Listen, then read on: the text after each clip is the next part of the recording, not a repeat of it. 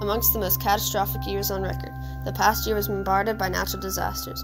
Events from volcanoes to hurricanes destroyed cities, crippled communities, and claimed lives globally.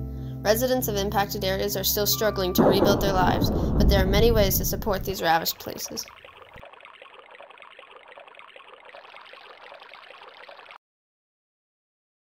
Volunteering is an excellent way to help communities impacted by natural disasters. Opportunities to volunteer can be found by searching online and or joining a relief organization. Examples of relief organizations include the Red Cross, World Vision, and Salvation Army, but there are many more than just these. Many organizations may request volunteers to visit impacted areas or run shelters for victims. Volunteering is a great way to assist devastated areas, but many people have schedules that do not allow them to give away so much of their time.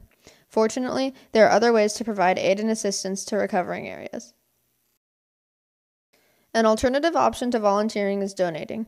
Donations greatly aid areas affected by natural disasters by providing them with food, drinking water, and other necessities. When people donate, it helps citizens of devastated areas focus on rebuilding their lives and getting them back to normal. There are several ways to donate towards natural disaster relief efforts, but most are through organizations such as FEMA and the Red Cross. When it comes to donating, however, some donations can have helpful intentions but actually lead to harmful outcomes. Specifically, donating items people do not immediately need causes additional problems in the recovery efforts. Things like toys, clothes, and other non necessities take up much space and do not help the victims recover. Furthermore, the cost to ship such items is high in price, and oftentimes, because they are abundant but useless, they end up being destroyed. It has been found that donating money is the most effective way to aid victims through donation. That said, make sure to donate directly to an official organization to ensure the money goes to a relief effort and not a third party. The second most helpful things to donate are shelf stable foods and drinking water.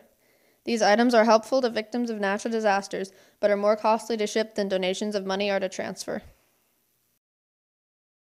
In summation, there are lots of ways to provide aid and assistance to areas affected by natural disasters. Either volunteering or donating is a kind way to support cities devastated by catastrophes and helps reduce the burden on those affected while recovering.